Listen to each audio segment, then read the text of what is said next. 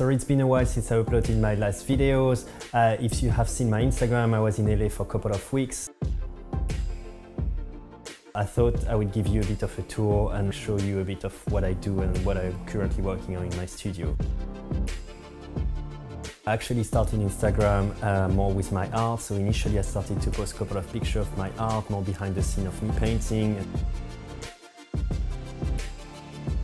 As I'm currently working on some of my, I would say, iconic piece, which is uh, the Scrooge that you probably have seen uh, holding the Dom Perignon bottles.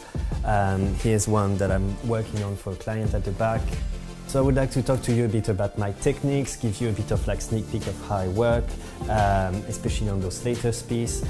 Um, but most of my work is actually, you know, pretty much everything is hand painted, so fully done by hand. Uh, I barely use stencil. I actually like the natural feel of, you know, like the small imperfection of painting by hand. Thanks very much for watching. If you have any question about my art, please comment below. I'm more than happy to get back to you.